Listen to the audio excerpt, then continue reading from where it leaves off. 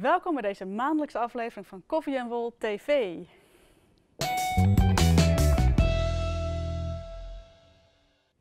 De maand oktober is alweer voorbij en we blikken terug op de dingen die we afgelopen maand hebben gemaakt. Petra, volgens mij heb jij een heel mooi vest gebreid. Ik heb een vest gebreid van de Nova. Heel lekker zacht draadje. Hij is dubbel draad. Makkelijk, hij hangt daar toevallig, toevallig achter. Heel toevallig. Heel ja. toevallig. Eh, een ribbelsteek eh, en ja, een mooie raglandenmouw erin. Maar het leukste was natuurlijk het zakje. Ja, Ja, die hebben we even laten zien hoe dat in zijn werk gaat. ja, Een soort als tip. echt magisch. Een moment vond ik dat.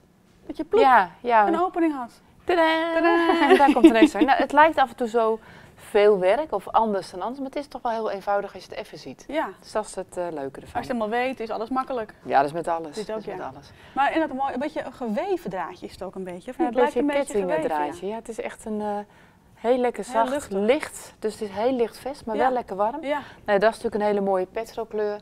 Maar ja, dit zijn ook hele mooie ja warme ik zie daar echt een hele mooie kleur groen liggen. Die vind ik echt Nou ja, de donkerrood is ook erg mooi. Ja, voor elk, voor ieder wat wils. Ja. Laten we het daarop houden. Ik ga het hebben over dit mooie vest wat gebreid is van Lang Nova. Heel lekker zacht bolletje, omdat er wol, babykameel in zit en een beetje polyamide. Hij wordt gebreid met een dubbele draad. Kijk, het is eigenlijk een heel dun draadje, maar door twee wordt hij natuurlijk twee keer zo dik. Gemaakt op naalden 8 en hij wordt aan één stuk gebreid. Dus je hebt een lange kabel nodig. 100 of 120, dan mag je zelf kijken wat je prettig vindt breien. En de naaldpunten, nummer 8, die draai je daar gewoon op. Nou, ik ga laten zien. Hij heeft een zakje ingebreid. Kijk, ik heb hem al voorbereid. Dus die gaan we zo meteen even laten zien hoe dat gebeurt.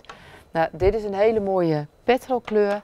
Maar er zijn ook andere mooie warme kleuren in dit bolletje wol. Nou, hier staat natuurlijk beschreven hoe je hem moet breien. Hij wordt aan één stuk gebreid. Dus het voorpand, achterpand, voorpand staat op je naalden.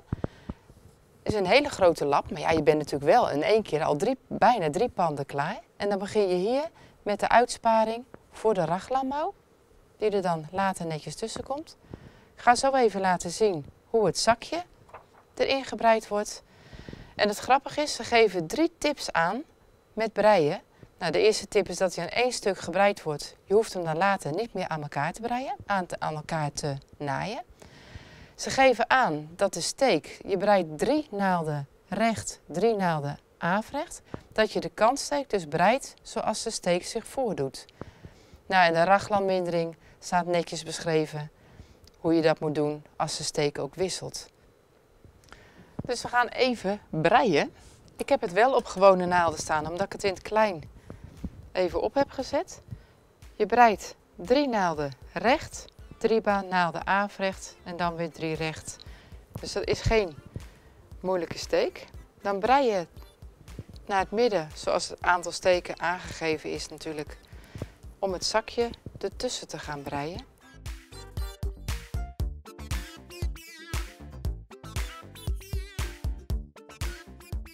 Het zakje is 18 steken, dus ik ga nu 18 steken afkanten. Dus 1, 2, 3.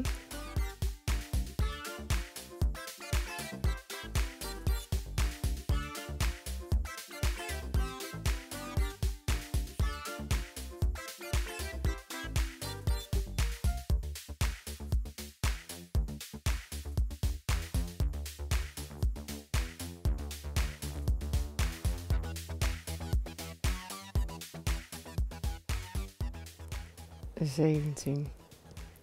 Dit zijn de. Dit is de ingang van het zakje.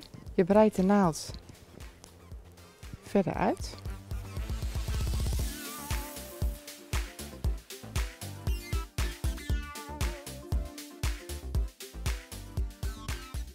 Je hebt natuurlijk veel meer steken. Dus als je aan het eind van de naald bent, draai je hem om.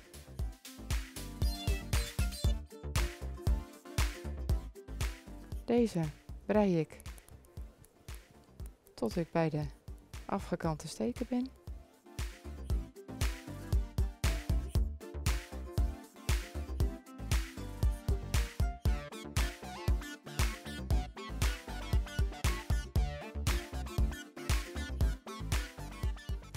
Nou heb ik een lapje gebreid met het aangegeven aantal steken en naalden wat ze in de patroon beschrijven.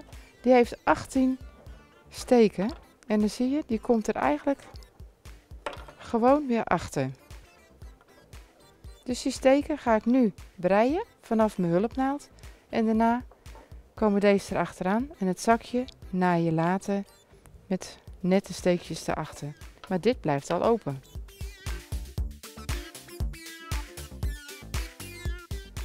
Dus deze kan je of van de hulpnaald afbreien of je zet ze even terug op je naald. En die brei je in dezelfde steek van je toer waar je in bezig bent. Dat was bij mij dus recht. Dus deze brei ik nu gewoon er weer tussen.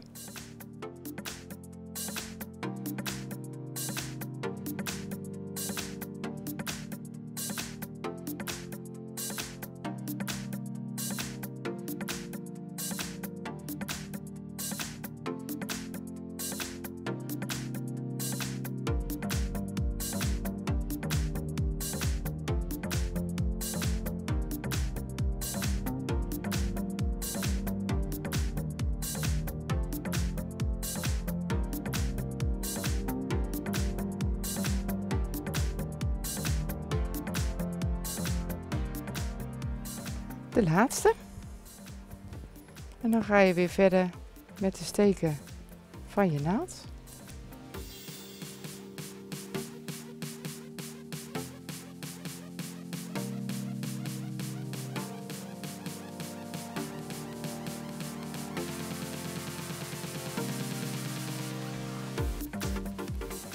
En nu heb ik alle steken gewoon weer op één naald staan. En het is weer één geheel. En nou brei je weer verder tot je het armschat moet gaan breien. Het pakket kan je vinden op de website. Veel plezier met het maken en het dragen natuurlijk.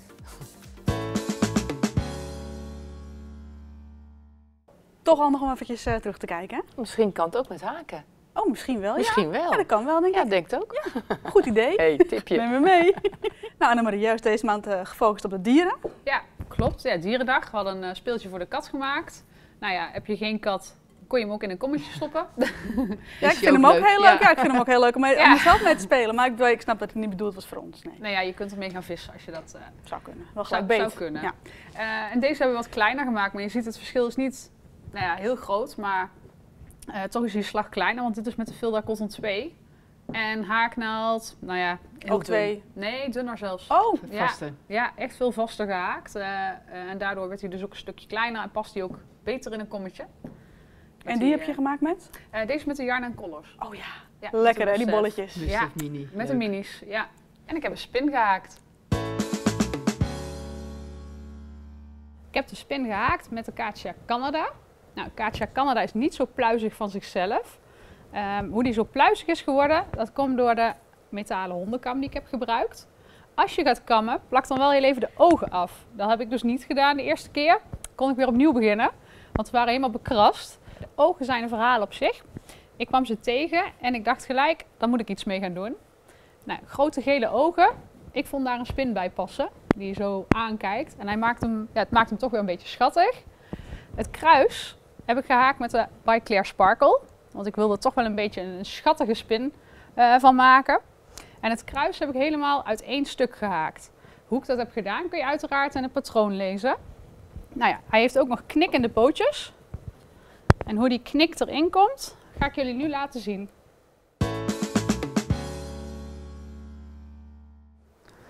In iedere poot van de spin zit een knik. Ik ga je nu laten zien hoe ik de knik heb gehaakt. Um, nou ja, volg gewoon tot met toer 5 het patroon. Dan gaan we hem dicht haken met drie vaste. Steek ik in. En ik steek dus door allebei te steken van mijn werk. Dat gaat altijd wel wat stroever. Dan haak ik drie vaste. Dus dat is één.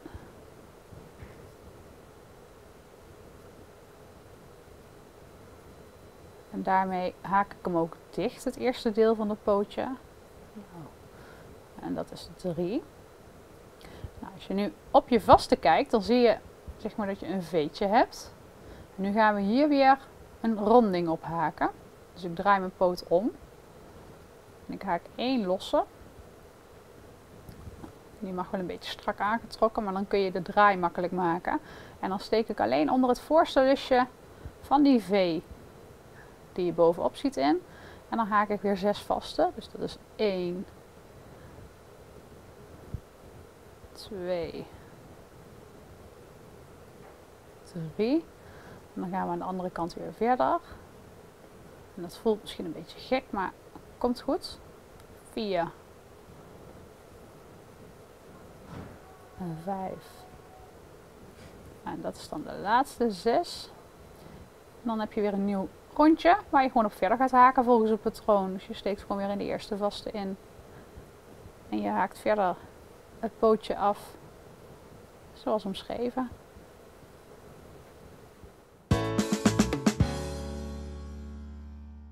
De spin is natuurlijk hartstikke leuk om te haken voor de herfst, Halloween. Nou ja, of misschien voor je eigen kind. Want het is natuurlijk ook een lekkere grote knuffel geworden. Nou, is toch helemaal niet zo eng, hè? Nou ja, Heel ik lief. ben zelf echt normaal als de dood voor spinnen, maar deze is wel heel erg knuffelig Ja, geworden. vind ik ook. Hij heeft ook een bekje, zie ik. Ja, Oh. mondje erbij. Ja, heel schattig. Nou, en helemaal bling bling, ook nog heel tof. Ja, ja, ik wilde wel een beetje. Ja. moest natuurlijk wel opvallen. Precies. Maar ja, nou, dat jij, doet hij dus. ja.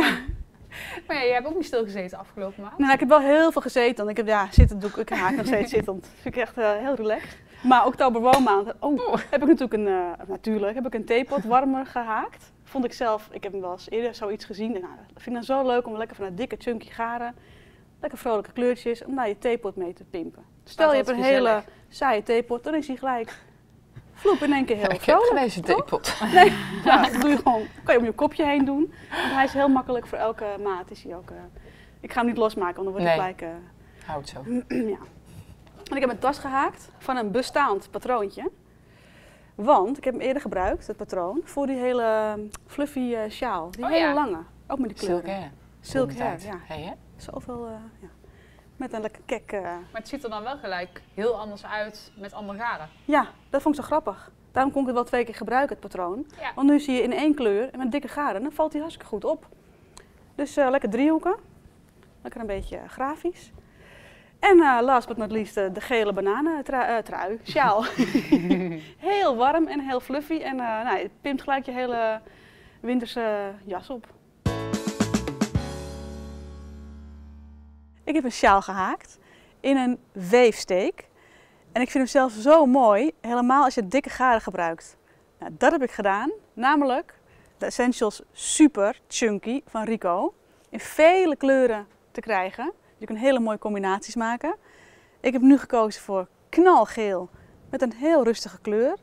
Maar afgewerkt met een knal glitterrand. Helemaal sprankelend. Nou, ik heb gebruik gemaakt van Vildar Myriade glitter in vele soorten. Dus met blauwe, blauwe tinten, grijs, zwart. Heel tof met zwart garen. Beetje roestkleur. Nou, je kunt alle kanten op. En het voelt ook heel zacht aan. Dus twee vliegen in één klap. Ik heb hem gehaakt met haaknaald 12. Een lekkere dikke naald. Grote stappen, snel thuis. En ik ga nu even laten zien hoe ik dat gedaan heb. Ik pak een lekkere roze kleur dit keer. En ik begin met 10 lossen voor het voorbeeld. Ik heb voor de sjaal 20 lossen of steken gebruikt. Nu doe ik er 10. 10 lossen. En ik steek hem nu in in het tweede los vanaf je naald. Is gewoon de Tunische basissteek. En ik haal de draad op en ik hou hem op mijn naald. Dan doe je hem alle lossen.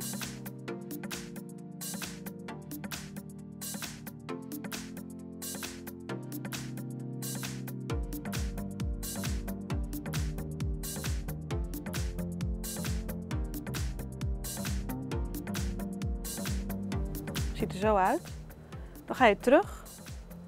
Je pakt de naald, de draad op en je haalt hem door de eerste lus om te keren. Dan pak je weer de draad op en dan haal je hem door twee lussen. En dat herhaal je steeds.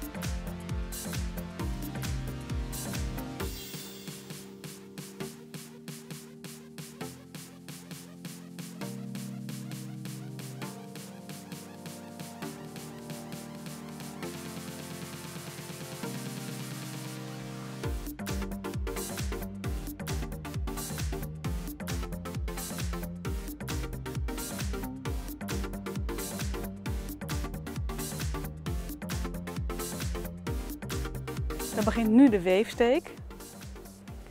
Je steekt de naald door de eerste twee verticale lussen helemaal van, voor naar achteren. Je pakt de draad op en je hebt twee lussen op je naald. Dat doe je met elke ruimte tussen die twee streepjes. Je voelt vanzelf wat makkelijk gaat en dan zit je goed.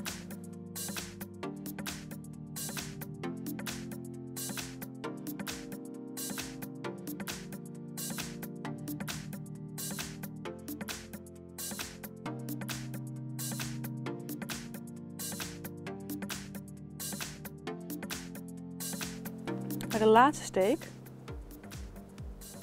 haal je naald niet door de twee streepjes heen, maar dan pak je de laatste twee lussen, het einde van je toer, van de vorige toer, voor een mooie zijkant. En terug is weer hetzelfde. Je haalt de draad op door de eerste lus en daarna door de twee lussen.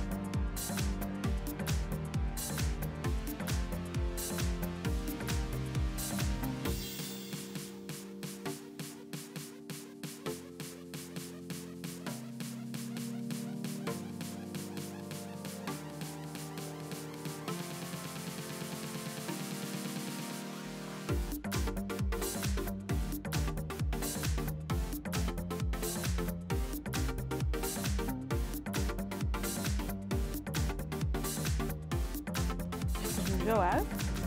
Bij de volgende toer springt hij een beetje. Dus nu zie je dat hier een streepje is, hier twee streepjes.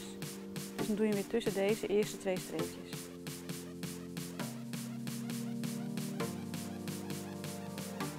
En de rest is weer hetzelfde.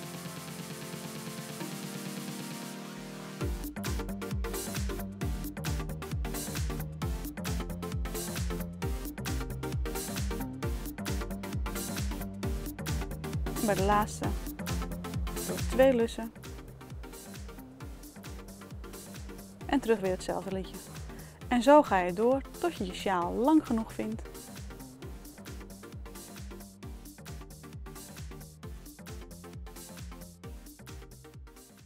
Nou, dit is hem dus. Hij is heel lang. Heerlijk voor een koude winterdag. Mooi steekje. Goud. Ja, en de achterkant is altijd wel leuk dat het dan Ja. gebreid lijkt. Het lijkt het blijkt. ja, gebreid. blijft Ja. gewoon, dat vind ik, blijf ik gewoon leuk vinden Ja. bij Tunische haken.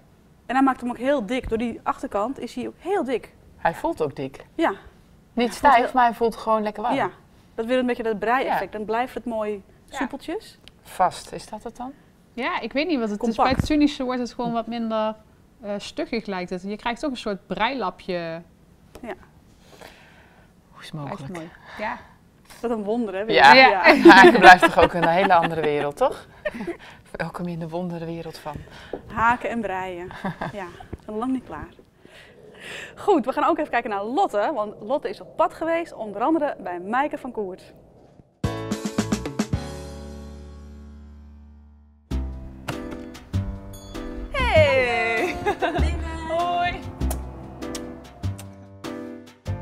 Nou, Maaike, super leuk dat we bij jou op bezoek mogen komen. Eh, zit er nog wat in het verschiet? Toekomst. Ehm, ja, er komt eh, een derde boek van mij. En dat komt in januari uit in Engeland en Amerika. Zo. Heel spannend. Ja, ja, gaaf. dat was echt... eh, Grote markt ook, denk ik. Ja, ik blog altijd al in het Engels. Ik ben in 2010 begonnen met bloggen en meteen in het Engels begonnen omdat ik toen dacht, oh, er zijn vast niet veel mensen in Nederland die haken. Dus laat ik maar meteen kijken of ik internationaal wat mensen kan bereiken. Ja. En ehm, ja, dat is eigenlijk altijd zo gebleven. En eh, ja, ik was echt enorm blij toen ik een jaar geleden benaderd werd door een Engelse uitgever of ik eh, voor hun een, eh, een boek wilde Ja. maken. Dus in Engeland werkt het anders dan in Nederland met boeken maken. Dus je maakt daar eerst een voorstel, dan wordt het gepresenteerd op een beurs. Mhm. En dan zoeken ze een Amerikaanse, ik ben door Londen benaderd, en dan zoeken ze een Amerikaanse partij om mee samen te werken. En als ze die gevonden hebben, dan, dan gaat het gebeuren. Ja, Ja. En wat, wat voor projecten staan erin? Want we konden ze niet laten zien, want ze zijn nu in... Ze eh, zijn nog in Londen. Londen, helaas. ja, voor de fotografie en zo. Ehm, dit is een boek wat gericht is op zwangere vrouwen. Eh, het boek heet, eh, negen, het gaat over negen maanden haken. En natuurlijk is het niet alleen voor zwangere vrouwen, het is Nee, ook ja. voor mensen eromheen die dingen willen maken voor iemand die zwanger is, voor een babytje. Ehm, maar ik heb geprobeerd om het ook beetje te mixen met projecten waar je wat langer wat aan hebt dan alleen maar tijdens de zwangerschap of als je Ja. baby klein is. Ja, dus er zit bijvoorbeeld een babydeken in, in een, eh, ook in een driehoekvorm die je dan later weer zelf als sjaal kan gebruiken. Oh, grappig. En eh, ik denk dat we even gaan genieten van eh, een lekker stukje taart. Citroentaart. Ja, lekker.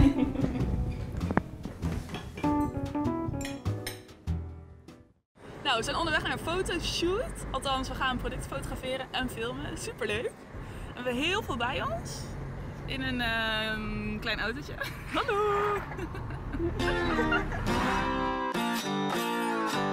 nou, we zijn op de locatie aangekomen. Dames zijn nu even alles aan het eh, opbouwen, zoals je ziet. We gaan heel veel fotograferen en filmen. Ik ben benieuwd.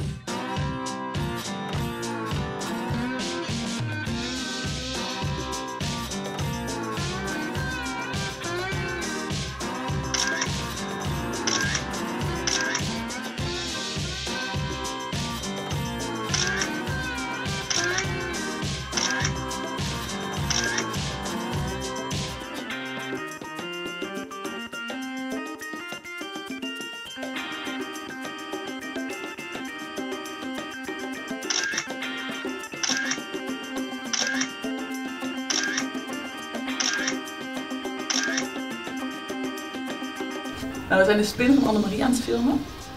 Ziet er niet heel comfortabel uit, maar hoort er nou eenmaal bij.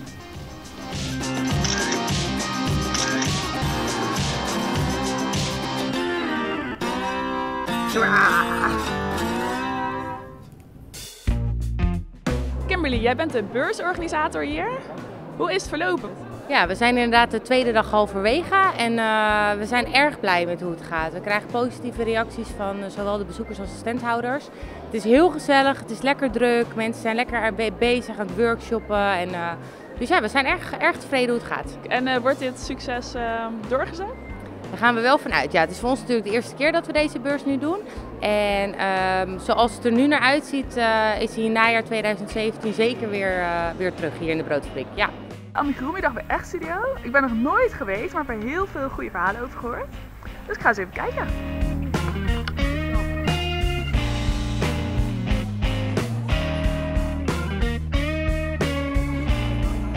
En vandaag de Groenmiddag. Ja, dat is altijd de leukste dag van het jaar, vind ik. Het is altijd heel erg, eh, erg gezellig, erg leuk. Ja. Ja, het is super gezellig. het loopt de hele dag lekker door en eh, heel veel leuke mensen gesproken. Dus eh, absoluut een hele leuke dag. eh, ja. Ja, dat is eh, weer een groot succes, denk ik wel. Het is echt eh, ieder jaar weer, kijk ik er echt heel erg naar uit. Superleuk, druk, gezellig. Ja, één groot feest natuurlijk. Ja, dat is altijd leuk. Ja, het is hartstikke druk altijd, gezellig. En moet je veel handtekeningen uitdelen? ja, heel veel. Leuk, een echte ster dus. Ja, ik geloof het. Is natuurlijk een dreamteam hier, Ambigroemi Dreamteam zoals ze zeggen. Dus er zijn heel veel eh, mensen die... eh, ja, het is altijd wel leuk dat mensen naar je toe komen en eh, even een gesprekje en een handtekening willen. Ik ben wel een paar keer op de foto geweest, ja. Nee, het is vooral ook een signeren natuurlijk. En vragen beantwoorden, mensen helpen. Ja, hartstikke leuk.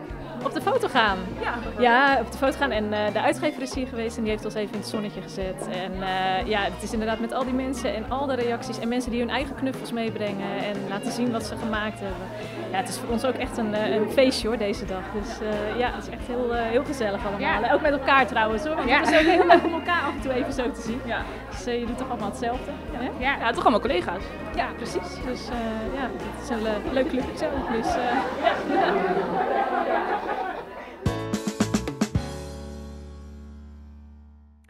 Toch leuk om te zien wat Lotte is geweest deze maand, hè? Ja, dat is altijd wel weer leuk. En Monique heeft ook gehaakt. Die heeft een prachtige winterse koolsjaal gehaakt met een heel mooi motiefje. Hij is gemaakt van veel mikado. Mikado. En in vele kleuren volgens mij, daar weet Ja, je het alles is van. überhaupt een draadje wat een heel leuk kleurverloop is. Want dit is één kleur. Ja, Eén één bol. bol. Er zitten wel meer bollen in. Drie bollen en een eh friemasje. Ja, Frimasje. Maar we een hele mooie kleurstelling, die bol. Ja. Echt leuk. Want het is heel grappig dat het lijkt alsof je elke, elke toer een andere kleur hebt. Maar Toeval. is niet zo, het is echt gewoon een heel mooi kleur. Ja, want je kunt ook niet zien waar je de nieuwe bol bent begonnen. Het loopt echt mooi over Hij is overdwars gehaakt, toch? Ja, Dus dat grappige. Heel leuk. Leuk gedaan, Monique. Nou, wil je deze sjaal ook maken, wat ik me heel goed kan voorstellen, dan kan je het patroon terugvinden op de website. hey Sas, je hebt gevlogd hè? Ja, ik ben helemaal into het vloggen. Het gaat steeds beter. En het is heel leuk om te doen ook, vind ik. En mijn ouders vinden het ook heel leuk, want die kunnen zien wat ik de hele week Ze zien je doe. nog eens. Ja, het is heel veel gebeurd. Ik weet het eigenlijk al niet eens meer terug te bedenken. Maar het is voor mij een nieuw huis geweest, een oud huis, afgedag gezegd. Ik ben bij de uitgever geweest. De caravan Nou, denk ik. In de caravan ben ik... eh, ik heb mijn vest nog gehaakt, dat is nog niet af hoor. Want vest is een bruin vest, schiet niet echt op. nou, kortom, eh, genoeg gebeurd deze maand. Nou, het is ongelooflijk maar waar. Ik heb net via mijn telefoon een huis gekocht. Dus we zijn gelukkige eigenaren van een nieuw huis. Joehoe! nou, de laatste dag in ons huis. Dit gaat allemaal vanavond in een container. Vanavond pas. Maar goed, het is gelukkig prachtig weer, dus we kunnen lekker de hele dag genieten van het mooie weer. En over drie maanden pakken we alles weer uit. En als het goed is, kunnen we dan lekker in ons nieuwe huis, voor de open haard, neerploffen. Nou, ik kan niet wachten tot het zover is. ik, ben, ik heb hem net af, dus ik ga nu even kijken hoe het nou eh, precies geworden is. Hij is langer dan ik dacht, want hij is ook in een punt. Dus ik heb hem dus ook steeds zo gehaakt. Dus hij is toch best wel lang geworden. Dus nu ik aan het kijken hoe die nou echt eh, gaat vallen. Ja, ik vind het heel tof dat je die, die bollen, toen ze zag die bollen, dacht ik, nou, dat is echt gek. 100 kleuren, zoveel. Die moeten gewoon in één project. Nou, het plan was om gisteren te gaan klussen en direct te gaan slapen in, de, in het huis. Maar we hadden zoveel gesloopt. We wilden beginnen bij de garage. Ik denk, als we de garage beginnen, gaan we die helemaal wit maken en een vloer leggen. En dan kunnen we van het weekend wel eh, over, dachten we. Nou, we gingen eh, het huis in en we gingen alles slopen. Want we vonden het allemaal zo vies en zo oud. Dus nu eh, is het hele huis gesloopt bijna. Nou ja, de binnenkant dan. En nu eh, nog steeds in de caravan. Maar goed, het is helemaal niet erg eigenlijk. Dus vandaag weer een klusdag. Ik ben bolletjes aan het uitzoeken voor de kerst. Ik dacht bling bling van bij Claire, hartstikke gezellig. En dan mooie kleurtjes. En ze passen mooi bij elkaar, dus ik dacht, ik ga er een mooie kerstketting, slinger, ik weet het nog niet. Ik ga er iets van maken. Nou, onderweg naar de uitgever, wellicht voor een nieuw boek. Nou, bij de uitgever, toch altijd heel leuk om een boek te zien. Tussen alle mooie boeken. Nou, dat was de maand oktober. Op naar de maand november. Petra, wat ga je deze maand maken? Ik heb met veel bik een groot big project gemaakt. Klinkt lekker. Ja, lekker hè? Lekker winters. Ja, echt eh, zwaar werk. Leuk. Even zwaar. Annemarie, wat, jij wat ga jij doen? Wat ga je maken deze maand? Nou ja, de, de laatste filmpjes van de Tony komen online. Dus eh, ja, als het goed is eh, zijn er heel veel tackles geboren. Ik heb ze al voorbij zien komen, zeker, ja. Ja, dus als het goed is eh, komen die nu ook helemaal af. En eh, ik maak een Tunis uitstapje deze maand weer. Helemaal domme toenies, heerlijk. En jij? Nou, ik heb iets heel groots en heel kleurrijks. En iets voor de kerst, bling bling voor de kerst. Dus eh, Ja, we gaan helemaal richting de feestdagen, heerlijk. Leuk. Ja. Dus nou, tot volgende maand. Doeg! Doei. Doeg. Oh, je, nou ja, ik denk je gaat Dat moest je meteen wel op. doen of niet? Nee, ik toch? wil het niet doen. Nee, Oh, was ik even helemaal niet. eh, Ik ben even heel slim bezig, dacht ik. ik meteen helemaal apropos. Ik denk, joh, kom op.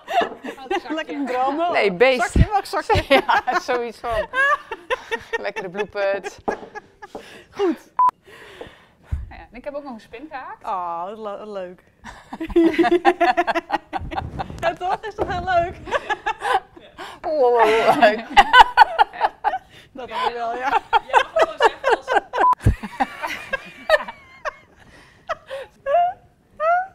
je er iets mee? Ah, toch leuk om te zien waar ze allemaal geweest is deze maand, hè? Die Lotte. Zekers. Ja. Nou, Anne, eh, ah, Annemarie. Monique heeft ook gevlogd. Nee, Sorry. gevlogd. Helemaal de weg kwijt. Oké, even